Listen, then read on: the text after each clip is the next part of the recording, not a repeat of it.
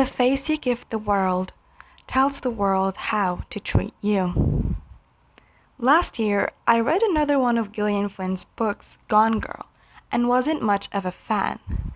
Everyone had raved about it, but I found the characters to be so shallow, the plot twist weak, and the narrative so busy being cynical it didn't seem to know what I was trying to say.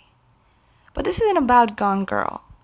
I did hear great things about Gillian Flynn's writing, so I went into this with an open mind, and I'm so glad that I did. Sharp Objects is such a well written and twisted novel. It follows our protagonist, Camille Preaker, who is a reporter and works for a not so popular Chicago newspaper.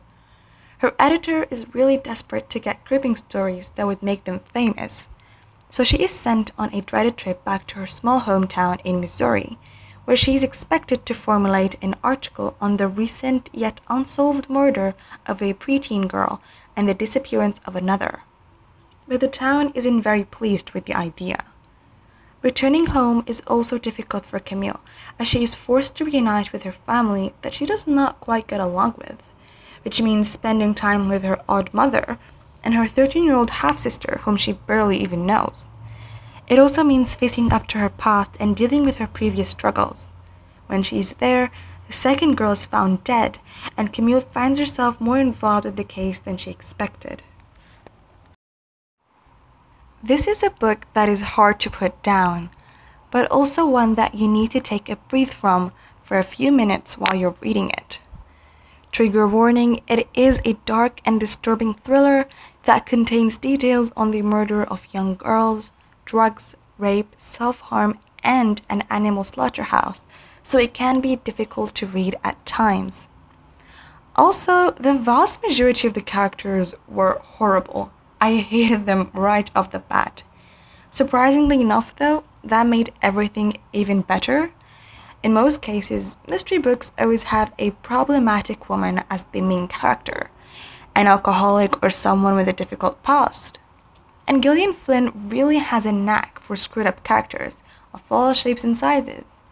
Except in this book of hers, I actually liked the main character and was really rooting for her. Camille is a brilliantly crafted character. She's dark, twisted, and broken from the events of her past. Her perspective is a pleasure to read from, but can be difficult to push through at many times. Her decisions are not always the best, however, the way Flynn introduces the reader to the character and the character's inner struggles allows the reader to feel sympathy for Camille, despite some of her very questionable actions. I like that the plot immediately started in the beginning of the book, instead of telling a long and unnecessary detailed backstory of the characters. I found myself enraptured in the eeriness surrounding the small town setting.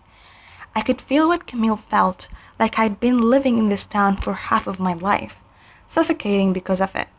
It's so great when an author can communicate feelings through protagonists in such a way that their thoughts muddle with your own. Some have argued that this felt a little bit like a character study, and I can easily see where that comes from. Camille's trauma is explored in a certain depth for a good portion of the book, but I like that. There was a good balance and connection between trauma and crime.